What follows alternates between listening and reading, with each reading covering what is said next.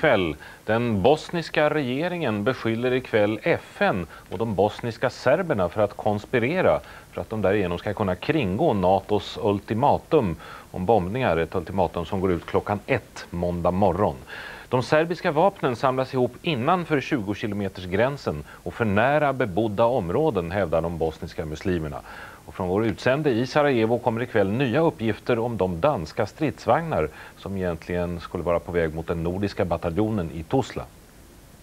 De danska stridsvagnarna som efter månader av diskussion nu äntligen är på väg till Tuzla och den nordiska FN-bataljonen behövs istället i Sarajevo och bör snarast transporteras hit för att finnas med i övervakningen av de insamlade serbiska vapnen.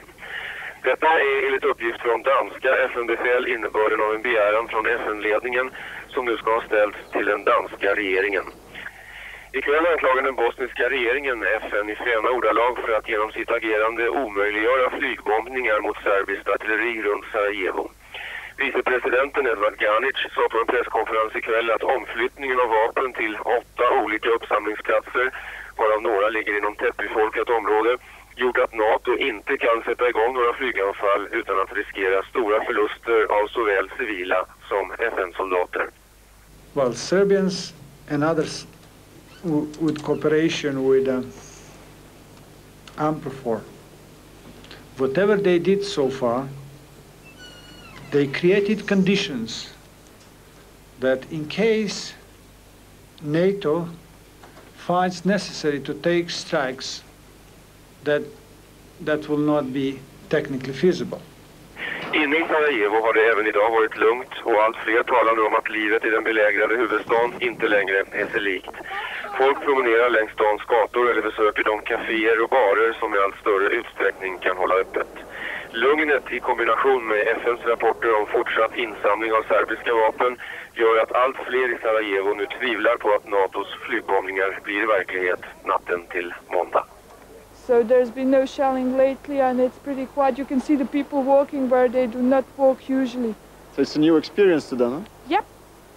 A completely new experience. Almost unforgettable. Yes, I think it's finished in Sarajevo. Why? Because the Union forces, they give the ultimate to Serb and they're afraid. So now everything is safe now then? Uh, I think so. Just nu kommer det besked från Sarajevo att den brittiska FN-befälhavaren där eh, general Michael Rose, han säger att det spelar ingen roll om de här hopsamlande vapnen står nära tättbebyggda områden. Det är ändå vi som har kontroll över dem. I Sydafrika mördades natten till idag 14 sovande ANC-anhängare i ett natthärbärge i Creighton i Natalprovinsen. Enligt ANC hade de 14 dödade, det var 12 ungdomar och två vuxna, samlats för att idag sätta upp ett kontor för information om det kommande valet i april. Natalprovinsen domineras av Zulufolket och Zulupartiet Inkatha har ju beslutat bojkotta valet. Den man som häktades i sin frånvaro av Sollentuna tingsrätt för ett par veckor sedan misstänkt för bland annat mord är identisk med Samir Mohammed Kadar, ansedd som en av världens mest efterspanade terrorister. Detta bekräftas nu av svenska Säpo. Kadar som under några år på 80-talet bodde under falskt namn i Upplands Väsby norr om Stockholm tros bland annat ha legat bakom en attack mot ett grekiskt kryssningsfartyg 1988 där nio personer, däribland en svenska, dödades. I en svensk lastbil som kom med Polenfärjan till Ystad i fredags kväll har den svenska tullen gjort sitt hittills största beslag av cigaretter. Vid en rutinkontroll hittade tullen upp emot 700 000 cigaretter gömda i lasten.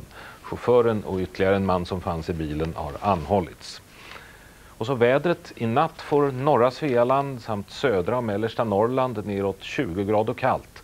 Och imorgon får södra Sverige mest mulet och lokalt i Götaland kan det bli snöfall med friska ostvindar. Norra Sverige får på de flesta håll klart men i den nordligaste delen blir det molnigt och tidvis snöfall i fjällen. Och det är varning för halt väglag imorgon i Götaland.